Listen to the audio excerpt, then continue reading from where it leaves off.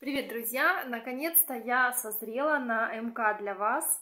Немножко э, время выделила, ну и очень много запросов, э, поэтому поехали. Э, мастер-класс на вот такой вот пышнючий-класснючий подъюбник.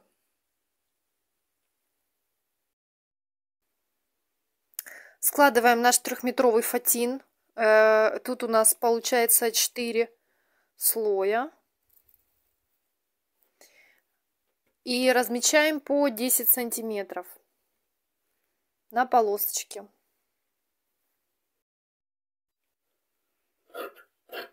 Теперь нарезаем.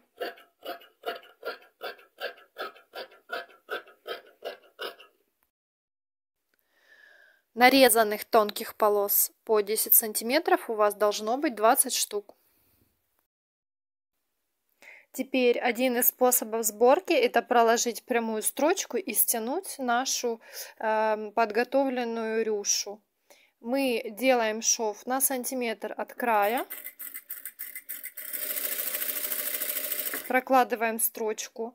И строчка у нас должна быть э, на максимальном шаге. Максимальный стежок у меня, например, 5 миллиметров.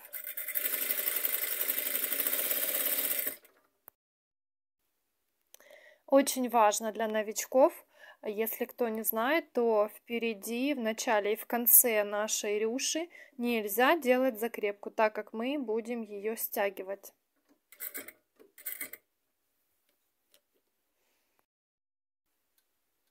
Стягивать мы будем нашу рюшу а, за нижнюю нитку.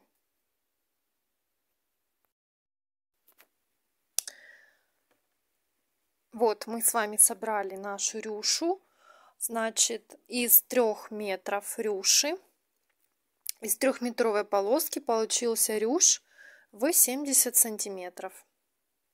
Второй способ очень быстрой сборки я покажу в своем ТикТок. Кто не подписан, можете подписаться. Теперь мы размечаем и нарезаем 5 э, полосок по 27 сантиметров э, трехметровых. Если у вас плохого качества мягкий фатин, это бывает, то делайте 6 полосок, соответственно, и маленьких, коротеньких вам необходимо будет больше. Там уже рассчитаете, доплюсуете столько, сколько вам нужно будет еще на одну полоску. У меня будет 5 полосок по 27 сантиметров. Нарезаем.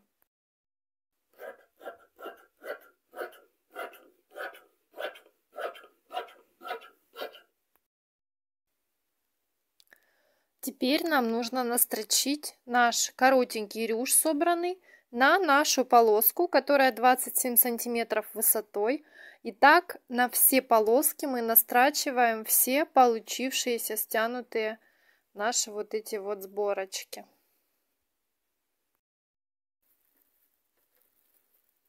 Наш рюш снизу, а наша ровная полосочка, она накладывается сверху на рюш. Не забываем о закрепке.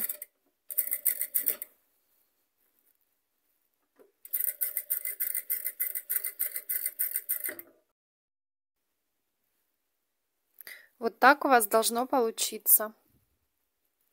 Итак, у нас э, подъюбник состоит из двух частей. Верхняя часть, нижняя часть и подкладка. Верхний слой состоит из трех полос вот этих, а нижний слой состоит из двух полос. И теперь нам необходимо эти полосы также стянуть, и мы будем прокладывать строчку сверху чтобы подъюбник весь стянулся и внизу получилось вот эти вот пушистики будут делать весь наш объем, который вы видели. Итак, здесь э, процесс э, стяжки на вот этой вот э, части верхней будет точно такой же, как у нас был на рюшах. Мы точно так же прокладываем строчку здесь 5 миллиметров ну, самую большую, да, самый большой шаг у строчки делаем И стягиваем потом э, две полосы. У нас будет нижний слой состоять из двух полос, верхний слой из э, трех полос состоит. И две полосы 6 метров мы будем стягивать на полтора метра. То есть, в принципе, вы можете, кто уже знаком с такой стяжкой, можете сразу э, сделать строчку на двух полосах одновременно. Э, они соединены у нас уже по низу непрерывно. Э, ну, вы можете и сверху тоже непрерывно их э, соединить, сделать строчку и стянуть на полтора метра. Кто новичок, не советую 6 метров стягивать одной строчкой. Может лопнуть где-то у вас ниточка, придется все заново. Делайте 3 метра отдельно стяжку и 3 метра еще отдельно стяжку. Поехали.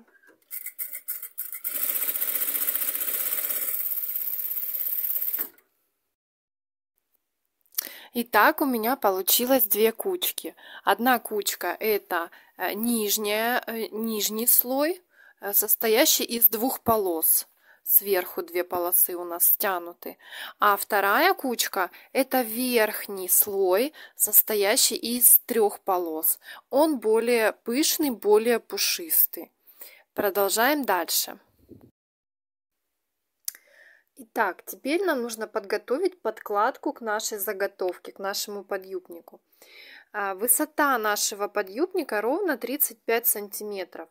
Подкладку мы вырежем точно так же. Она подошьется, станет капельку короче, это будет нормально.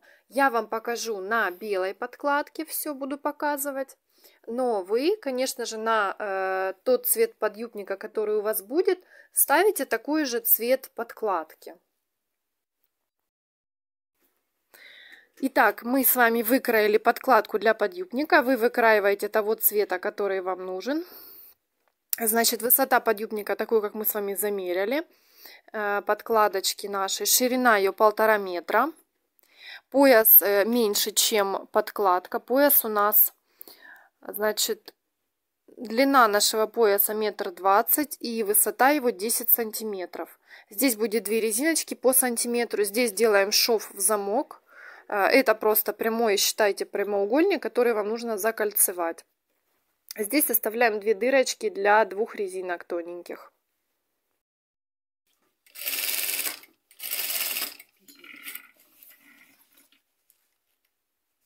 Обработали край на поясе один.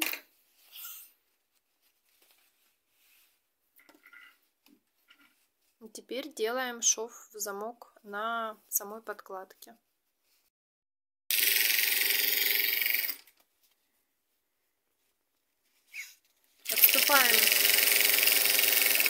На один сантиметр.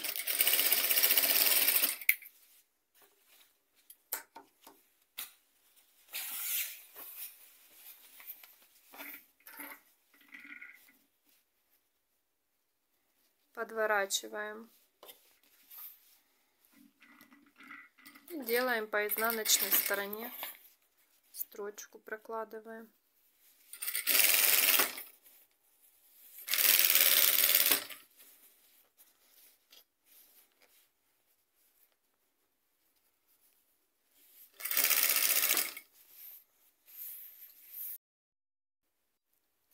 Итак, вот такой вот шов у нас должен получиться. Я уточнила его название. Это оказывается у нас не шов-замок, а шов бельевой. Теперь его сейчас приутюжим и дальше будем собирать.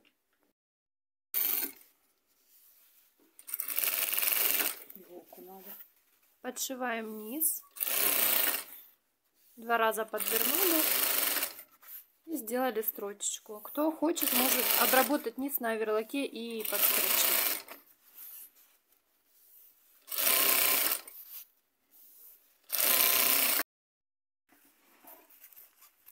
Итак, теперь мы притачиваем пояс и делаем небольшие складочки, так как мы помним, у нас сам, э, сама подкладка чуть больше, чем наш пояс. И поэтому мы теперь вмещаем, можете заколоть складочки сразу, но э, мы уже знаем, насколько нужно делать защипчики. И притачиваем той стороной пояс, которая не подстрочена. Та, которая подстрочена, она у нас вон осталась. И дырочка, вон, видите, э, для резиночек тоже она у нас осталась. Этот способ сейчас я показываю для тех, у кого нет оверлока. Для тех, кто будет делать все э, на машине. Все швы будут заработаны на машине. Теперь нам нужно заколоть наш, э, нашу самую нижнюю э, сеточку, нижний слой, да, у нас их два, один верхний, один нижний. Приколоть и распределить. Чтобы распределить, нам нужно приколоть вначале к одному краю, затем ко второму, к противоположной стороне нужно приколоть. И тогда мы будем видеть, сколько у нас здесь еще осталось чтобы сделать небольшие складочки на самом э, фатине. То есть фатин не всегда идеально совпадает, поэтому для распределения нужно вот так вот приколоть и затем настрочить по краю.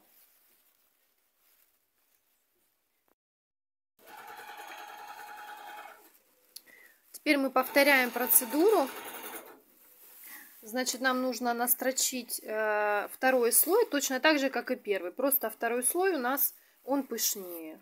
Вот и все.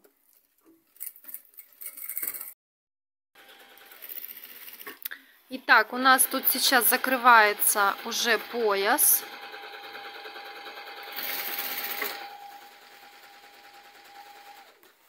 То есть пояс просто сгинаем пополам и настрачиваем сверху по тому краю, который у нас уже был подстрочен изначально, в самом начале. Он у нас уже как бы обработан. И мы его просто им закрепляем, запаковываем э, наш подъюбник вовнутрь.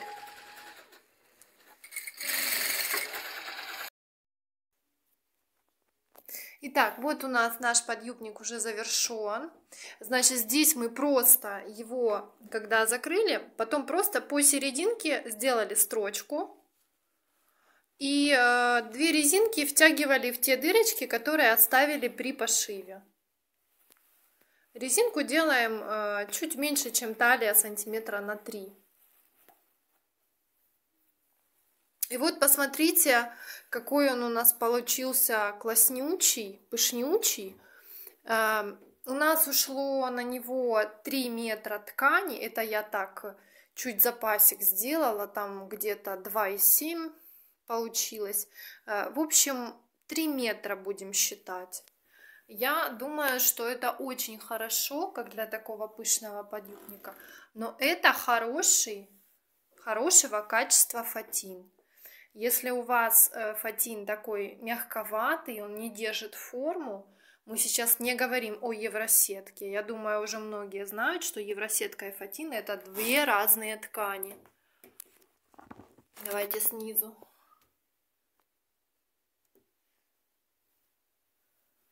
Вот так.